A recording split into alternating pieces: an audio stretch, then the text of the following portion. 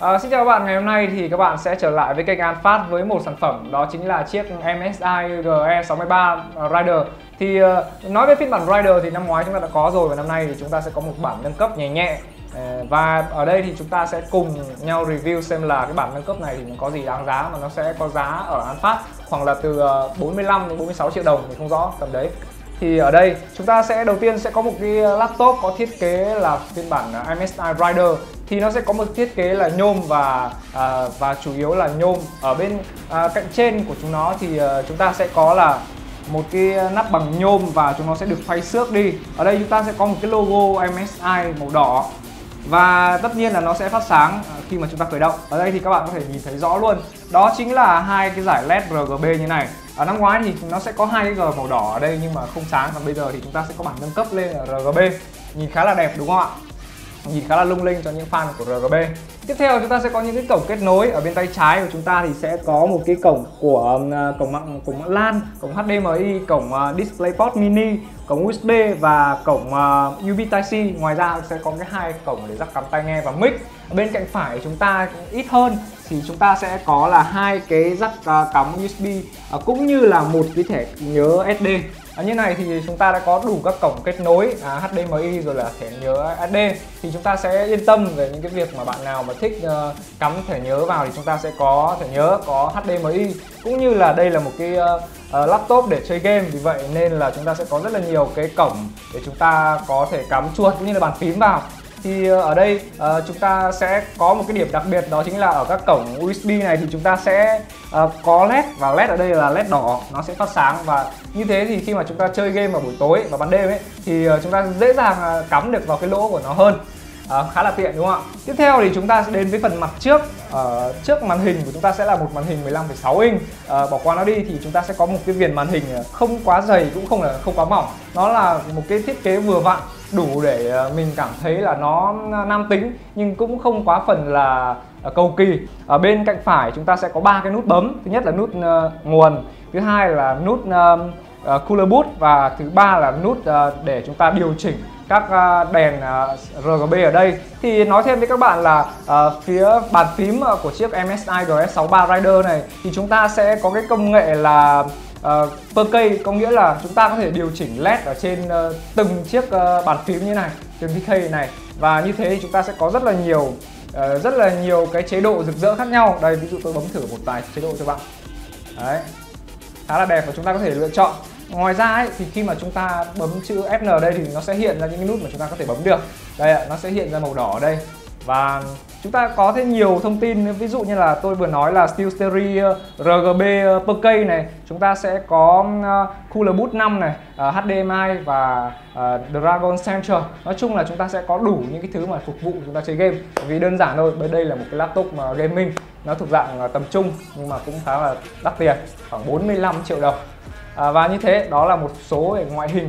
À, còn về phía bàn phím thì chúng ta sẽ có một cái bàn phím full size.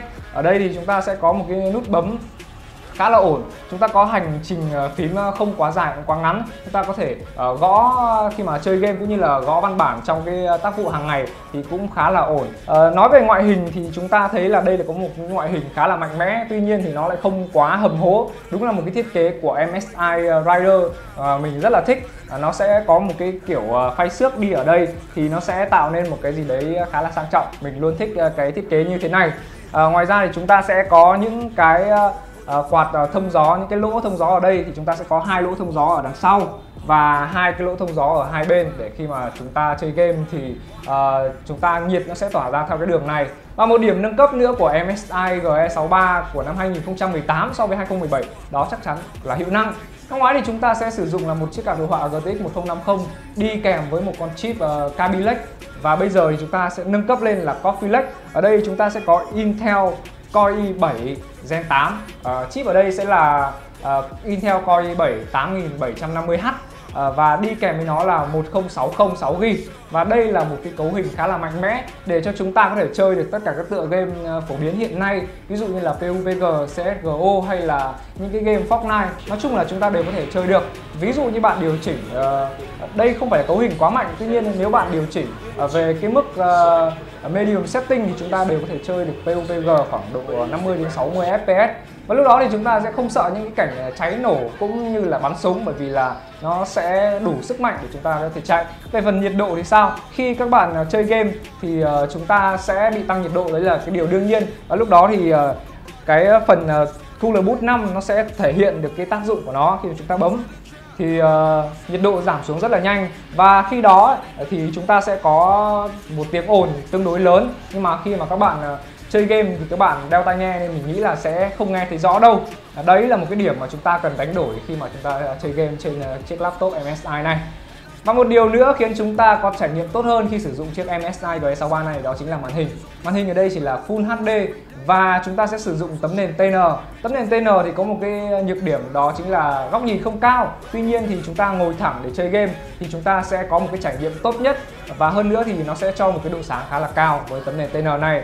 Và cái màn hình này sẽ có tốc độ là 120 Hz thì nó sẽ cho chúng ta một cái cảm nhận khá là tốt. Với cái màn hình 120 Hz này thì chúng ta có thể chơi game khá là mượt mà cũng như là chúng ta sẽ không cảm nhận được à, những à, cái sự giật lag khi mà chúng ta chơi game bởi màn hình này sẽ hiển thị rất tốt. Và đó là những cái điều cuối cùng tạo nên sức mạnh của chiếc MSI GE63 phiên bản Rider này. Chúng ta sẽ có một cái thiết kế khá là hầm hố cũng như vẫn sang trọng và có LED RGB ở cả à, nắp của chiếc laptop cũng như là trên bàn phím. Và chúng ta có thể chỉnh được cả bàn phím uh, ở từng cái phím này có LED RGB tiếp theo thì chúng ta sẽ có một cái máy có hiệu năng tốt với uh, một con chip là 8750H cộng với lại một card đồ họa là GTX 1060 6GB À, bên cạnh đó thì chúng ta sẽ có một cái uh, bàn phím uh, có thể nói là full size uh, lung linh và cho chúng ta một cảm giác gõ phím rất là tốt kể cả khi chúng ta chơi game lẫn là cái việc chúng ta sử dụng hàng ngày. Nói chung đây là một chiếc laptop chơi game khá là ổn và vừa trong cái tầm giá này. À, một cái điều mình không thích ở chiếc laptop này đó chính là nó hơi nặng.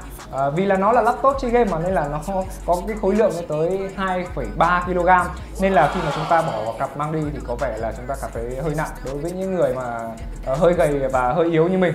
Còn uh, một phần một điểm chê nữa là à, mình chê đó chính là việc mà tay mình thì nó sẽ có nhiều mồ hôi và dấu vân tay. Vì vậy nên là khi mà mình chạm lên à, trên à, các bề mặt của chiếc laptop này thì nó sẽ à, tạo nên cái vết uh, bám mồ hôi và dấu vân tay nhìn khá là xấu. Còn nếu mà bạn nào mà không cảm thấy hai cái vấn đề đấy nó quá lớn thì mình nghĩ đây là một chiếc laptop uh, tuyệt vời dành cho các bạn. À, đó là những chia sẻ của mình về chiếc laptop MSI GE63 Rider này. À, các bạn thấy chiếc laptop này thế nào thì hãy chia sẻ cho chúng mình ở phần comment phía dưới nhé cũng đừng quên là một subscribe để ủng hộ cho chúng mình.